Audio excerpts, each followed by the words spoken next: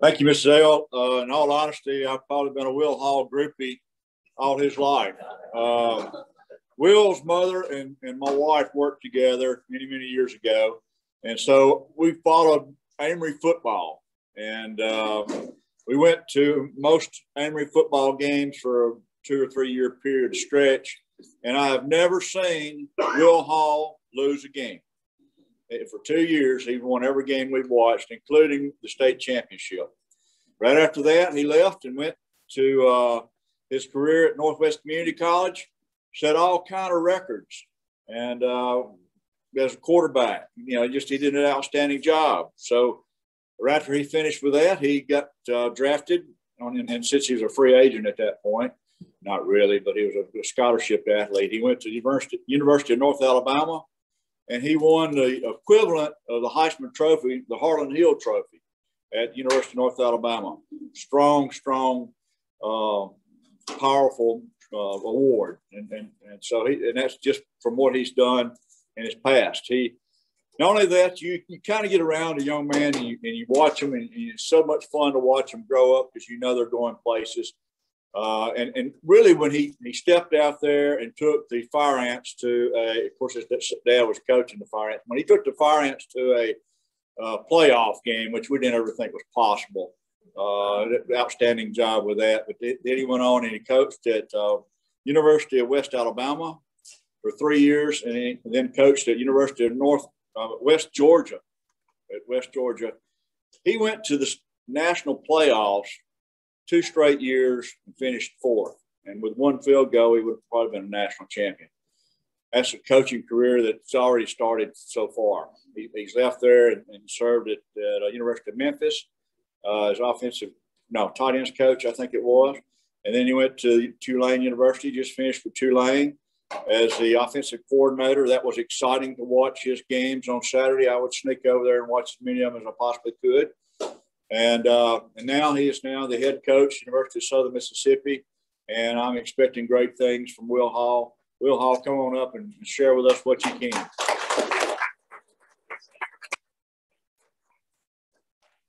All right, excited to be with you guys today. I may move around a little bit. Can everybody hear me? If I talk good, everybody's good.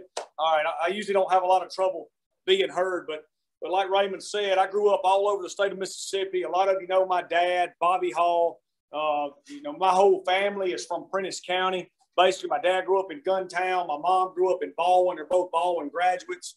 And uh, but I grew up all over the state. Moved all over the state with my dad as a high school coach, and uh, like Raymond said, graduated from Amory.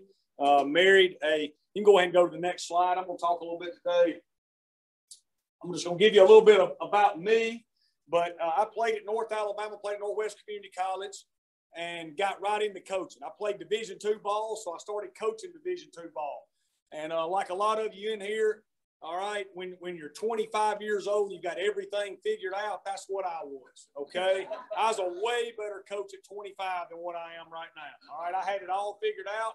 I wanted to go, I wanted to call plays and run a program as soon as I could. I didn't need any help. I just needed I just needed opportunity, baby. I had it all figured out. So I took every job you could possibly imagine that nobody else wanted, just so I could call plays. And you can't really see it because it's small, but I went to these are going to be some some football powerhouses. I'm fixing a name for you right here. On Presbyterian College in Clinton, South Carolina. 24 years old. I was calling plays there. Then I went to Southwest Baptist University in Bolivar, Missouri for two years and, and called offenses there. Then I went to Monticello, Arkansas, okay, for one year.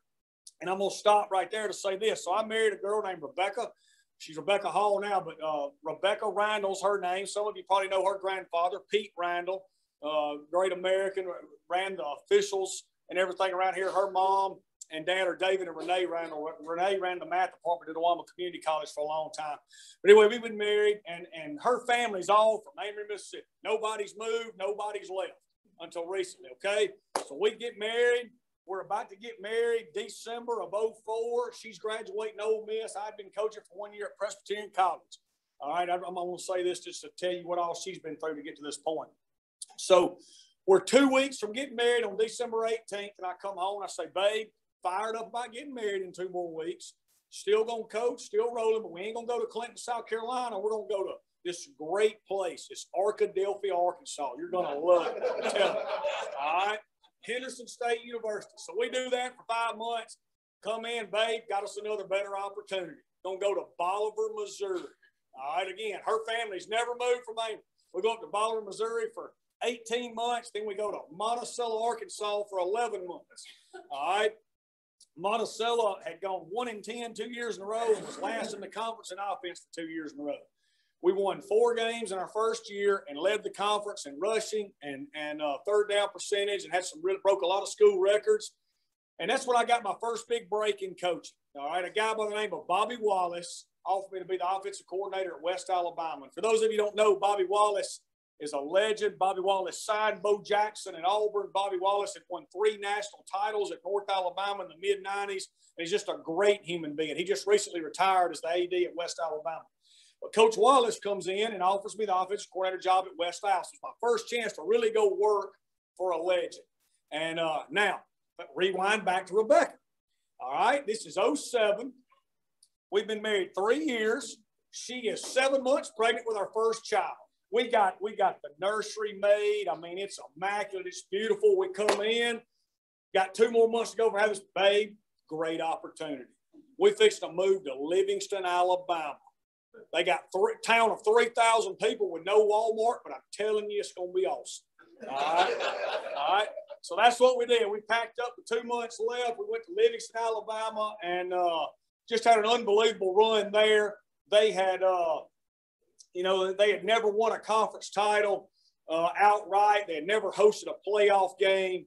And uh, in three years as offensive coordinator there, we went to our first playoff game. And then Coach Wallace retired, and I was able to become the head coach there at age 30. And uh, we ended up uh, winning the first outright conference title. We won back to back conference titles for the first time in school history. And uh, at that time, my oldest son, who I was talking about, we were about to have, he was five, he was becoming five years old. So he, uh, you know, it's funny how the Lord provides.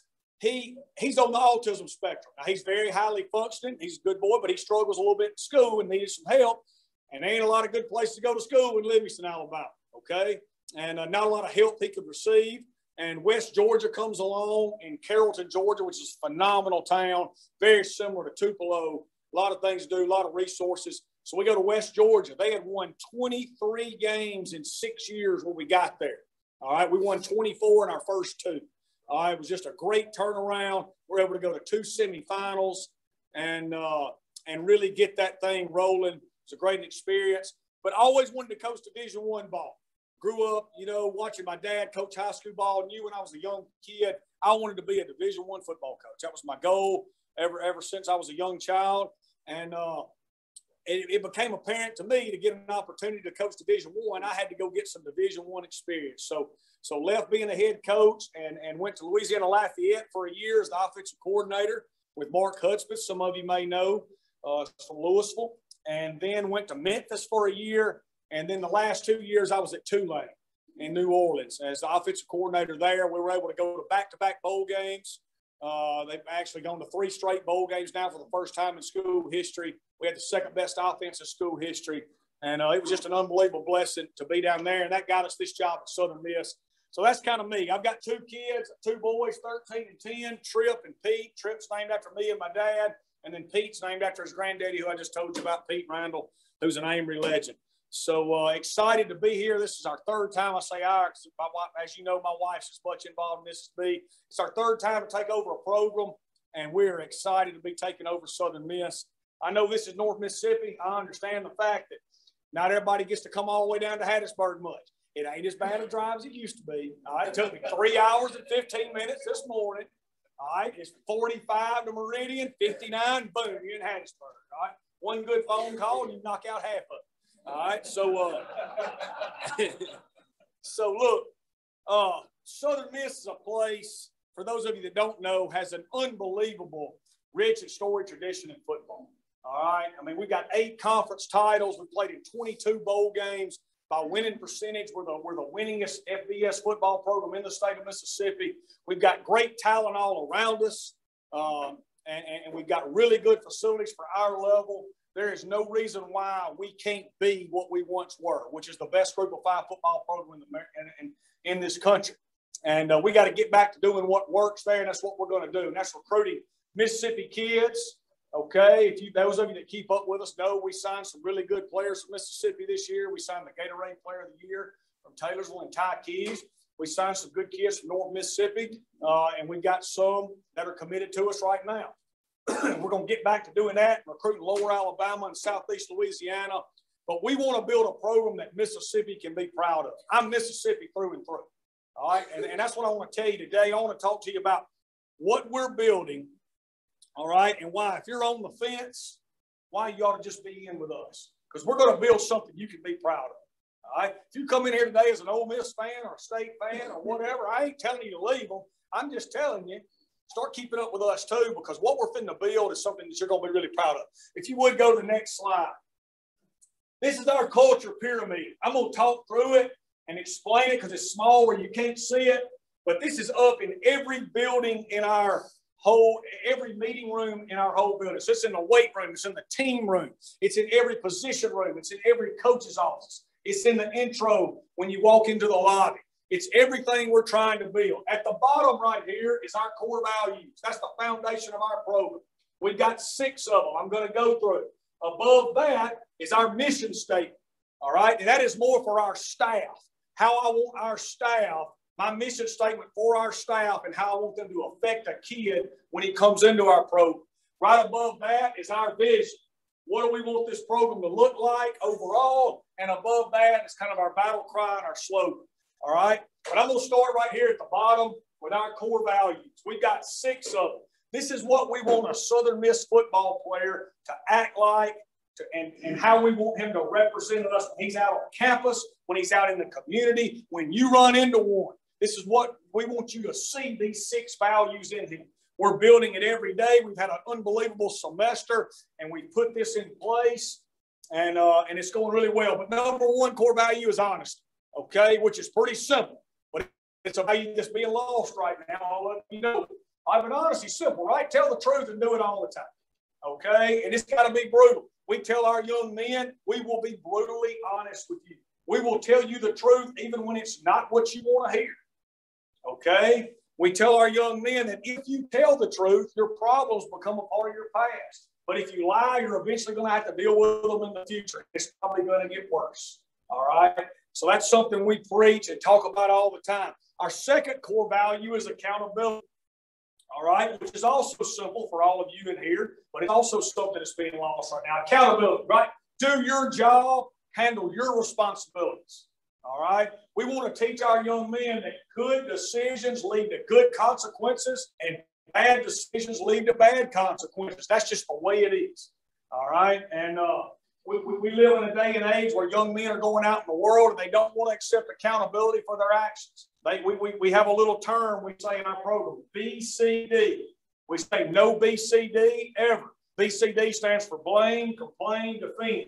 All right. We know there's young men all out in the world right now that do something wrong. They want to blame others for their for, for their decision. They want to complain about their circumstances, or they want to defend their bad decision through who they were hanging out with or whatever. Uh, you're responsible for your decisions, and good decisions lead to good consequences. Number three is the golden rule. All right, which is simple for all of you in here. I'm a Christian. That matters to me. All right, that's the way I was raised. I'm not the type of human that forces my beliefs on others, but at the same point, our players are going to always know where my center point comes from and why I'm able to be such a positive person all the time. But the golden rule is simple, right? Treat others the way you want to be treated. That's how we define a good person in the Southern Miss football program. Mm-hmm.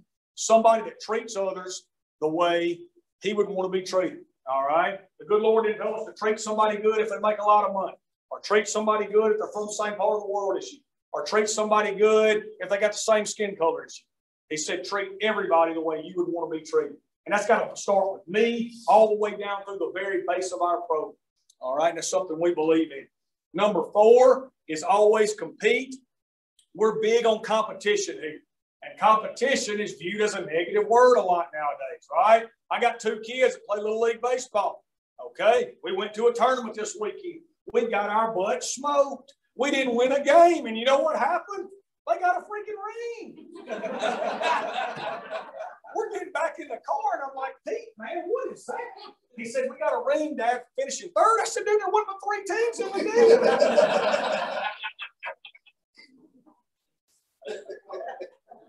But that's what we're doing right now, right? Everybody knows that. And so all of a sudden, competition becomes a negative word. We want to train our young men that competition is a positive word. Competition helps push you to be a better version of yourself. Okay? You got to wake up every day and compete with yourself and everybody around you to be the best you can be. Because when you get out in the real world, all right, and people are interviewing and hiring, they ain't gonna say, you know what, Johnny, tell you what, man, that was a terrible interview, but we'll give you Johnny. You know what I mean? That just ain't the way it goes.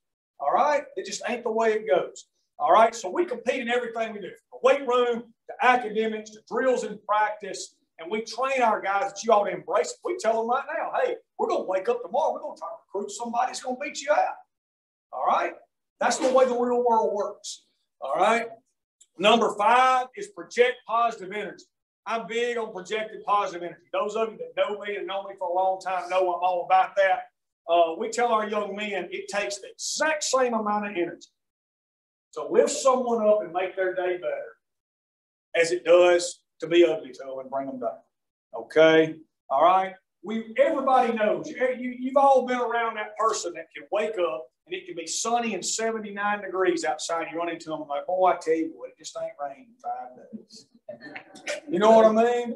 Nobody wants to be around that person. We don't want a Southern Miss football player to be that. We want to lift others up and to make the world a better place. We want to impact people one person at a time.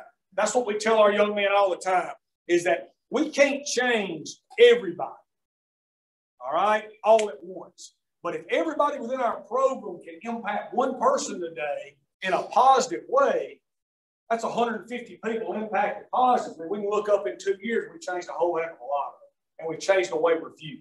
All right. So that's what we want right there. And the last core value, number six, is find a way. And guys, you know, everybody in here, ladies, some days you wake up and you just don't feel good. Some days you wake up and you got a flat tire. And you still got to do what you're supposed to do anyway. And that's what we tell our young men that, you know, as you get older, everybody in here knows this. If you only get good work done on days where you feel really good, then you ain't gonna get a whole lot of work done. Okay. All right. And that's what we tell our young men. And that's how we're training them. Some days you just got to hunker down and find a way to do what you're supposed to do because people are counting on All right. So those are our six core values. Over the course of this first spring here, we've had highlight videos, we've had examples, we've had other people come in and talk on them. When a young man uh, d- does one of these, we point it out and celebrate them. When a young man doesn't do it, he gets called out, and we point that out as well. So we're laying that foundation and building it. For those of you that follow us on social media, uh, I think you've seen our players and the way they're acting is, is something to, to be commended and something we're proud of. All right, if you look right above that, it's our mission statement. Okay, and this again is more for my staff and everybody that works for me and how they're going to touch these kids. We say we want to build a culture and environment to help these young men reach their full potential in four areas, and it's got to be equal, all four of them. Number one is academics, number two is athletics, number three is their character, and number four is their future. Okay, and that's what that, that block is right there to help each player reach their full potential. Number one is academics. Okay, we want to help each player reach their full potential academically. We want to give them all the resources they could possibly need. And we tell them when we're recruiting them, to understand this from the moment you walk into this program, you're going to be expected to get a degree. And your position coach is going to have a very active approach in that. Okay? If you've got a son that comes and plays for me, he's never going to call home and say, Mama, I tell you what, Dad, I tell you what, I wish Coach Hall, my position coach, put a little more into it. All right? He may call home and say, I tell you what, I wish Coach Hall would get off of me Okay? But we're going to be on them and we're going to force feed academics too. Some of them love it and it's easy. Some of them don't like it and it's hard, but it's going to happen. Okay. And uh, we have an unbelievable academic center. We have tutors for them and, and all that that all Division One football programs have. And uh, to be honest with you, with how structured and organized we are, they ought to get two degrees while they're here. They really should. Number two is athletically, we want to build a structured environment for all players to be successful as, as, football players. And if they're good enough, which is very rare, but if they're good enough, we want to give them the opportunity to continue playing at the next level. Okay? But we want to build a championship program and help them be involved in a program that can win and win big. Like I've told you before, some of you know Southern Miss has won forever. Okay, and we got to get back to that, and we're going to. But uh, schematically, I'm not going to get into all that right now. We want to have systems on offense, defense, and in the kicking game that transition over to the next level, the NFL, where if they're involved in our schemes, it helps them play at the next level. So if you watch us play, you're not going to see us. You're not going to see us under center running knots. It's not what they do at the next level. You're not going to see us. I hope I don't offend anybody here. You're not going to see us in the air raid. All right, that ain't what they do at the next level. You're going to see us running pro style schemes that transition over to the next level. And I think that's important to do that for kids. Number three is character. As you can tell already, that's huge for me. Uh, we want to build a culture and environment to help these young men grow up to be real men. And I'm going to talk about that here in a minute. Uh, I, I, think there's a, there's a leadership void right now in our country with young men growing out in it. I truly believe with everything I've got that young men being a part of our program is only going to help them be more prepared to be a better father, a husband, and a leader in their communities when they get done. And I think you can see already we're on, on them about that. And then last but not least is their future.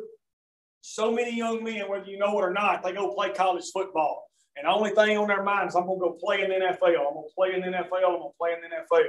The fact of the matter is, think about this. We educate our guys on this. We have a meeting on this once every spring semester. If you're going to play running back in the NFL, Okay. There's 32 teams in the NFL. Every team keeps three running backs. So to be a running back in the NFL, you've got to be one of the 96 best running backs walking planet Earth at one particular moment in time. Okay? Ain't very easy to do. So when you hear people talking about he gonna play in the NFL, look at him and say, "Ooh, he does, he's good."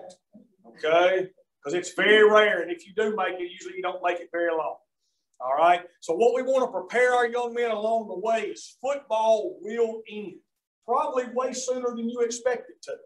We've got to figure out what we want to do with our life and start transitioning into that. So we've got a plan when it's over. We want to use every resource Southern Miss has to help them get started with their career when it's done. So that's our mission statement. If you go right up above that, this is our vision for our program, and this is me. This is what we're about. This is what we're trying to become, and it's real simple. All right, our vision for Southern Miss football. Somebody asked me today, said, Will, what do you hope's happen in five years, 10 years? This is it. Okay. We want to be the best group of five football program in America, and we want to develop real men. That's what we're trying to do every day. Okay. We can be the best group of five football program in America. We've been that before. But along the way, we've got to develop real men. I think that's what the good Lord put me and us here to do. I think the world is void of real men right now. And what we tell our young men is this a real man with real toughness, okay?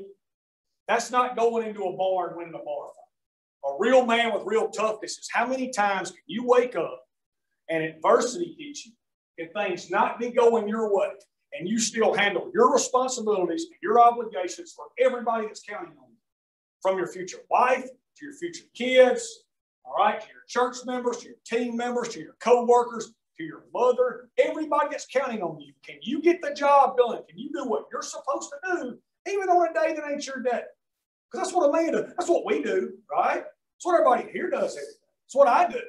All right. And that's what we're training these young men to be. And I believe the world needs more of those right now. And I think our football program's going to help with that. And then last but not least, at the very top, is kind of our battle cry and our slogan. It's at the tip of the pyramid. Those of you that follow us on social media see our people tweet it out all the time.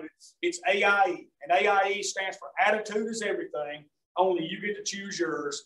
And I think it's the greatest gift the good Lord's given us is the ability to no matter what your circumstances are, where you're from, what your parents did, no matter what, you get to choose your attitude. You get to choose your response to every set of circumstances that come your way every day. It's easier for some than others. All right, some of us are born really blessed, some of us aren't.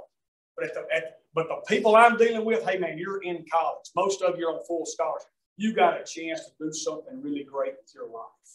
All right, and understanding it's a powerful deal once you still embrace that.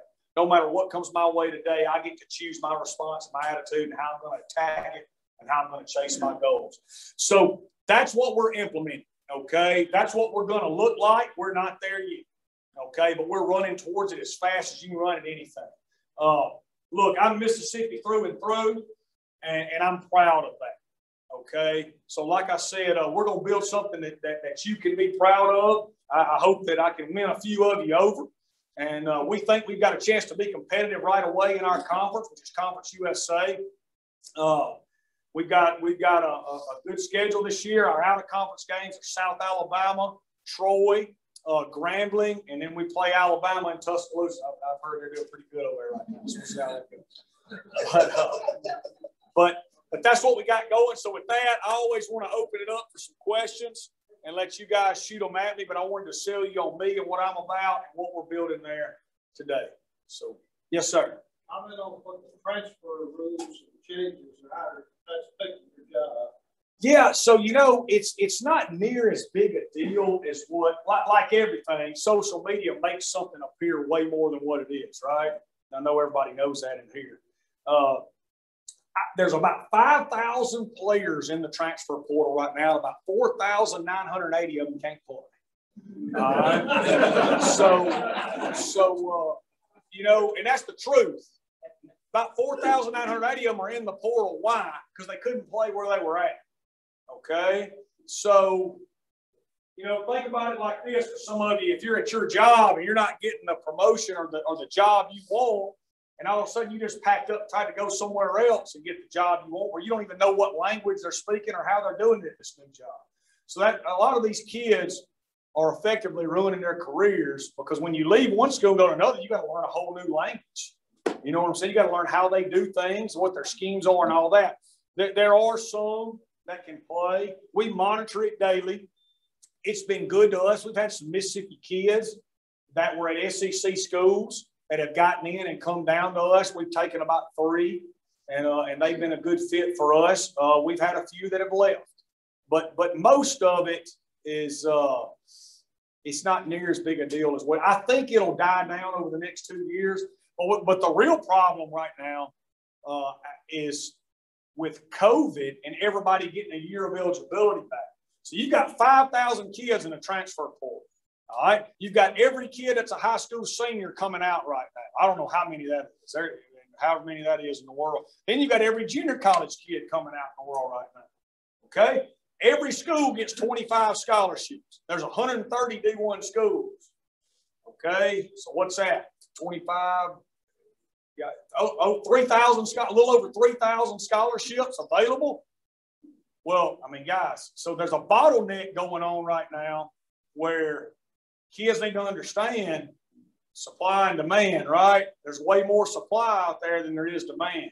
So uh, that, that's the real problem. There's a lot of really good football players that five, six years ago would have got a college scholarship, and they're not going to get one right now because there's just not enough out there for them.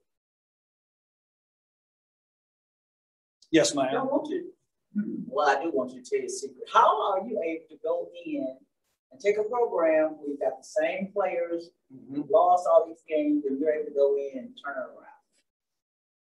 Well, most of the time when a program's losing, just like a lot of you in here taking over, you know, businesses and, and, and churches and things like that, the people aren't as bad as maybe what it seems. And uh, so at, at, the other two places I was at, we had some good players. And just trying to find what we can do and quit talking about what we can't do you know, and, and take what we can do and let's start working with that. Uh, to me, is, is critical no matter what you're doing in life. Figure out what you can do and start doing that. And every day try to get a little bit better. And, uh, you know, we've got some good players there. It was just two years ago. A lot of you in here probably aren't Southern Miss fans, so you don't know this. Just two years ago, we were seven and three, and it just blown out UAB. And UAB's won our conference three out of the last four years. We were seven and three and just beat UAB and then the wheels kind of fell off the Southern Miss. We ended up losing the last three games, and then we had this past year, which was bad. All right, so we're not that far removed from from from contending for a conference championship. And a lot of those kids are there, and uh, we got to add some more pieces. Talent wins, right? There's a reason why Alabama and Ohio State and Clemson are in the playoff every year, right? They got way better players than everybody else does. Everybody knows that, right? If you don't, they do. Trust me. Okay. All right. I saw a graphic the other day said Alabama had more ESPN top 300 players on their team than the first team all Pac 12 all conference team did. All right. So talent wins, talent matters. We've got to recruit, we've got to upgrade our talent. All right, we're actively doing that every day, but we also got to work with what we got, and, uh, and we got a good plan for that. Yes, sir. I saw a graphic uh, a couple days ago that's on Frank Gore's third day. Talk about uh, having his son on the team and uh, all that experience. Yeah. Yeah, so Frank Gore Jr. is our running back. He was a true freshman this past year, had a really good true freshman year, uh, a really good football player. He's got a chance to be a great player. He looks just like his dad. Like they look just alike. He's just not as big as his dad was. Uh, Frank, but Frank's a great football player.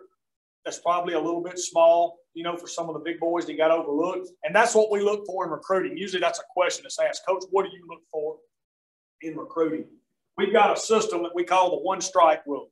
Okay. We want the player at Alabama and LSU and Ohio State and all those guys want. We want the same player, but he's got one strike against him. So what I mean by that is maybe he's a six foot three wide receiver that has great ball skills and can really play, but he runs a four six forty instead of a four four. So Alabama won't take. That's our guy. Uh, he's just got one deficiency. He's got one strike. Maybe he's a running back that can really make you miss, and he's got great speed, but he's 5'7", 185 instead of 5'11", 220. He's got one strike against him. We want the guy that's got one strike, then we want to take him, we want to use those skills that he has elite skills in to help him be great. That's what we've done everywhere we've been. Over our six years running a D2 program, we put more people in the NFL than the University of Texas did. All right. So, uh, so we, we've got a really good system of, of locating and finding those guys, and we're excited about putting them in place. Coach, uh, do you have a core group that you brought along with you as you move from place to place? Yes, sir. So, uh, you know, like everybody, we, our, our D coordinator is a young guy that I brought up in the profession, Austin Armstrong. He's been in a lot of places, but he was with me at West Georgia and Louisiana Lafayette. That's what you mean, right? Staff. Yeah.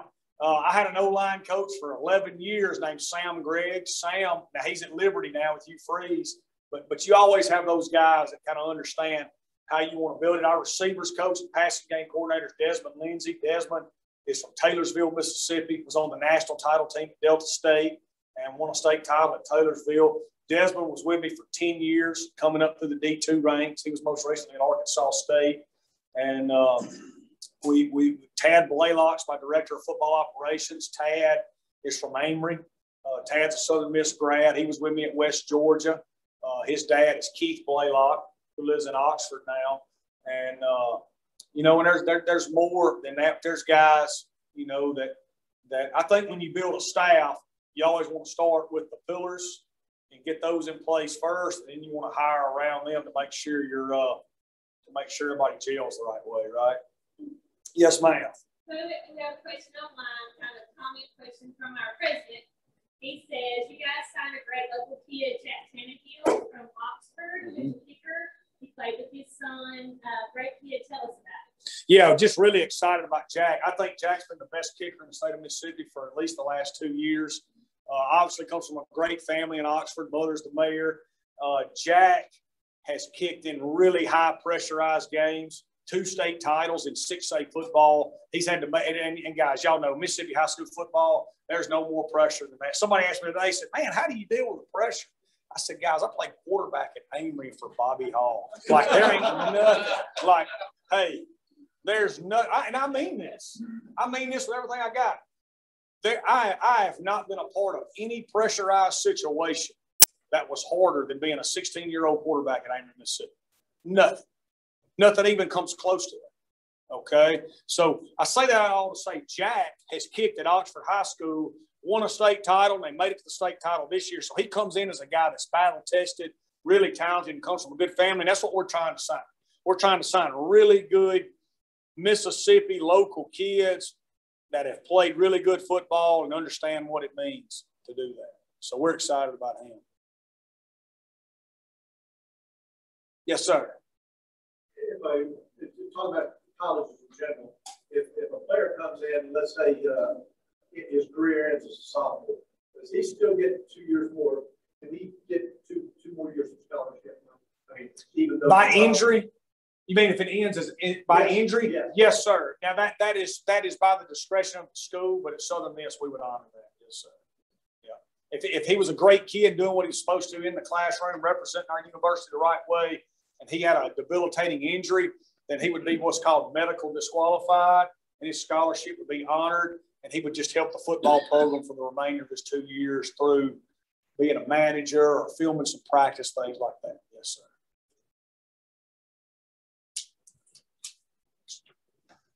Yep. What are the restrictions on your recruiting now? How often can you go to school and be with the high school coaches and Yep. players? How restricted is all that? All right, so it's completely restricted. We're down to zero. We haven't been able to do anything since all COVID started, but June 1st, we're back. Thank you, Jesus. Okay. All right. So uh, we, we, we literally can't do anything. Like if Ty Harden was here today, as the head coach at Tupelo, I couldn't go sit at his table. I couldn't talk to him. You know what I mean? And if, if anybody took a picture of me and him standing by each other, I wouldn't be able to recruit anybody to Tupelo for two years. Okay. So uh, it, it's they're, they're on it, and it's just the way it is. But June 1st, we're back to normal. Our, our recruiting calendar is going to open. So on June 1st, we would be in the period just like normal June 1st. A kid could come to our campus and see us. We could call him and talk to him, but we can't go off campus to see him starting June 1st. So we got camps and everything. We can call and text and tweet, do all that as much as we want right now, but I cannot go off campus and see anybody and they can't come see me. I think that's positively affected Southern Miss, to be honest with you. Now, y'all know I'm a positive guy. I try to find the positive, but we got good players all around us, right? Somebody said today, Coach, how's COVID affected your recruiting? I think it's helped us at Southern Miss. We got good players all around us. Well, y'all know Mississippi kids, they ain't going far away from home unless they go and see it and feel comfortable. If I was the head coach at Idaho right now, I'd probably think COVID really hurt. You know what I mean? But, but being in Hattiesburg, Mississippi, with a lot of good players all around, can't go visit other places, I think it's been a positive for us. Yes. NIL is overrated as uh, transfer. No, I think that's real. I think it's coming and it's here to stay. And, and I don't have a lot of answers for you. So what he's talking about is uh, name, image, and likeness. Kids been able to make money on the side. I, only thing I'll say is this: I think uh, I'm for everybody making the most out of their opportunities, whether it's y'all or my players or whatever. There's a way you can make money for yourself without pushing others down and harming others. Go for it. Uh, the legislation to uh, to monitor it and police it is going to be astronomical. Okay, so they got to get all that in place for it. The only thing I want to say is this: I don't want to undermine. And, and again, I'm for kids. They make money. It. I'm all for it. But I don't want to undervalue getting a college degree for free. Okay, these kids on full scholarship get everything paid for. They get unlimited meals, unlimited gear. Okay, so that you know there is a lot that comes with it. All right, our kids on a daily basis get fed a cooked breakfast, a cooked lunch, and they have an unlimited meal plan in the cafeteria. They also have unlimited snacks every day. They can come and grab and go all day long. Okay, they get unlimited gear, and every class is paid for. Every tutor's paid for. Every book's paid for. If they need more help, that's painful. All right, so being a D1 college football player is a pretty good deal in itself. Now we're all making a lot more money, right? I'm making more money I ever thought I would make. All right, thank God for it. And if these kids can get, get a little bit more, I'm all for it too. Yes, sir.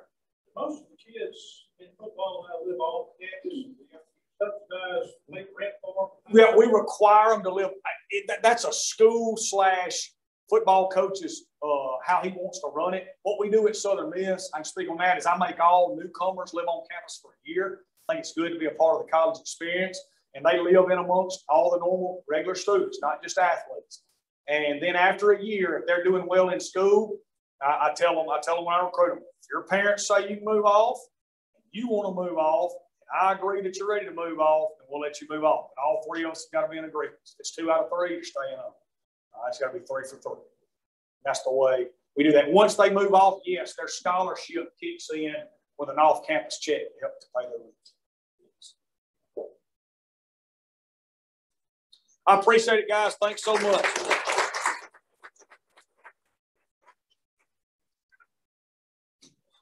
Coach, thank you for being here today.